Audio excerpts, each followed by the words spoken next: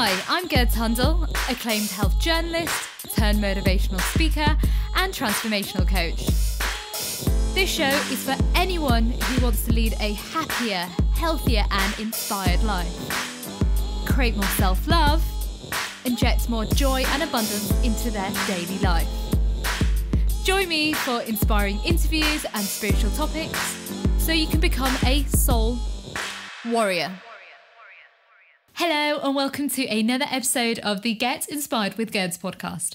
I'm your host, and today I have a beautiful soul on the guest who I just fell in love with from the moment I interviewed her last time. She's an amazing soul. The work that she do is just absolutely out of this world, and just the way she sees life and the way she helps her clients. It's just so beautiful. I just love her. um, we had her on the show a few months ago, and the work that she does is just so powerful. And I really want people to understand some of the things that Heather will be saying today because a lot of us don't realize where a lot of our health problems come from. And Heather just has so much knowledge and expertise in this area. And for a quick reminder for anyone who missed that show, her name is Heather Dane. She is a health coach and 21st century medicine woman who combines ancient wisdom from her Native American lineage with holistic health and nutrition. She's co authored two books with Louise Hay Loving Yourself to Great Health and The Bone Broth Secret, which is just absolutely amazing.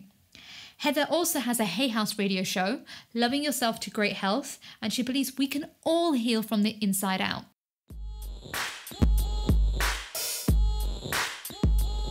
Heather, it's an absolute pleasure having you on the show again, and thank you for joining us. I'm so happy to be here, Gurds. Uh, another opportunity for us to have fun talking about health. oh, bless you. I, I absolutely loved our interview last time, and it was just amazing and like listening about your story how you transformed your life you know i love talking about the bone broth secret and how you're helping people so like the way I kind of see it, like a lot of the listeners were calling in saying, "Give us more about Heather. Tell us more." and one of the things that I just I would love for you to talk about is Indigenous healing secrets and how the listeners can kind of tap into this. Okay, I think it's a, a great question, and I actually, um, I I think we may have talked about my Native American background in our first conversation. Um, I am Haudenosaunee, which is Iroquois. People know it better as the Iroquois Confederacy. I am Oneida Nation, and I am a member of the Wolf Clan, mm-hmm. and.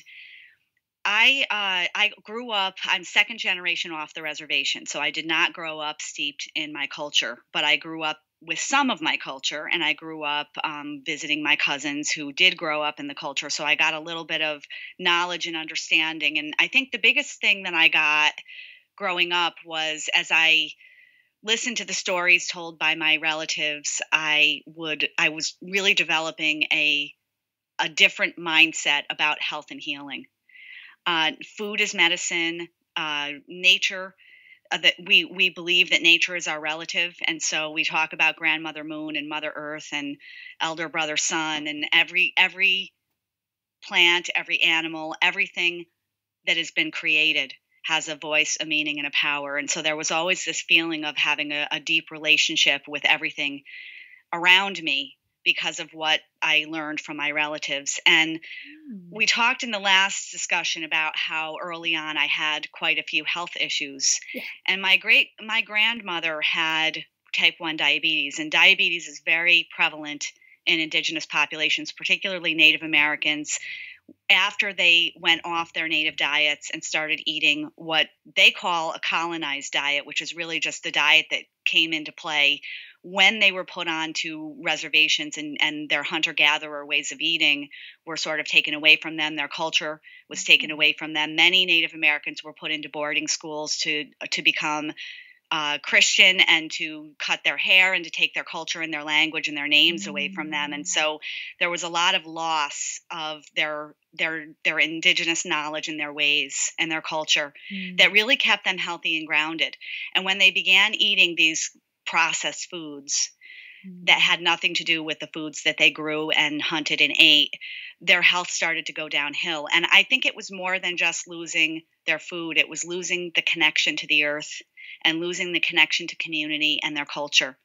We know today from studies like in Scientific American, they did a study that showed that healing, that rituals are healing So, our rituals that we all have in mm. our backgrounds, the things that our ancestors did, have a healing quality. And any of us who take part in those rituals have an opportunity to experience that healing. And we know from neuroscience and psychology that stories aid healing. And there was a lot of, in indigenous cultures, stories being passed down. It was really an oral history. And there was a lot of stories, and story is metaphor. Recently, somebody said to me that before um, before the Europeans came to the United States, a squirrel could hop from tree to tree from one coast to the other. Oh. And when you think about what that means, you think that how many trees were there? There were a lot of trees. Wow. And and it brings a visual to mind about what it might have looked like before we started um, cutting them all down and creating cities and things like that. And I, I think that story brings